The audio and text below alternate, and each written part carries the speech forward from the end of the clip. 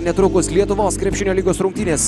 Aikštelės šeimininkai Nevežis savo žiūrovo akivaizdoje priima Utenos Juventus krepšininkus. Ritaškių pataikymas šį sezoną yra pirmaujanti komanda Lietuvos krepšinio lygoje beveik 44 procentų tikslumu meta iš toli šios dienos rungtynėse. Taip tik patvirtindamas, kad reikia labai saugotis Utenos komandai ir išnaudota proga metant tritaškį, štai apie ką ir kalbėjome. E, Normantas tikrai nepris... Vladislavas Koreniukas suvalgytas po krepšiu. Arvidas Šikšnis, Pičkauskis, Pičkauskis staigiai į priekį, du taškai ir vėl. Ir tai metimas, kuris mažina skirtumą iki dešimties vėl. Pičkauskis puikiai sekti lkl.lt svetainėje. O čia paskutinis išpolis pirmoje dalyje. Ir Matulis pataiko iš trijų taškų zonos. 40-46. Šikšnis.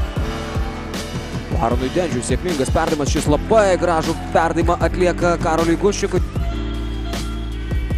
Laronas Dendis iš trijų taškų zonos meta taikliai ir taip ir Židrūnas Urbanas taip pat dabar galėtų kalbėti apie Laroną Dendį.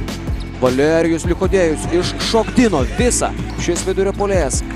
Pakeitęs, priverstinai pakeitęs kupšą dėl trijų pražangų. Dabar tempia į priekį Juventus, o Juventus dabar traukia jau ir Bičkauskis. Lieka 7 sekundės atakai. Lesteris Medfordas prieš jį kur kas aukštesnis Karolis Guščikas. Medfordas vienas prieš vieną žaidžia. 2 sekundės atakai. Meta sunku metimą ir jis yra taiklus.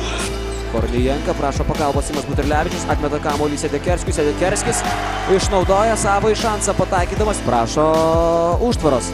Ir palieka Kornijenka už nugaros Lesteris Medfordas. Margeris Normantas vieną tritaškį įtrenkė šiandien Tadas Sedekerskis. Nevėžis dabar kita vertus net ir prieš tai, prieš Mindaugo Kumšą vis tiek pavykdavo apsiginti. Oi, kokį metimą čia pataiko Maksimas Kornijenka. Minus šeši. Neįsivaizduojama, kad dar būtų galima pavyti. O, Lesteris Medfordas. Čia 74-78 toks galutinis šių rungtynių rezultatas.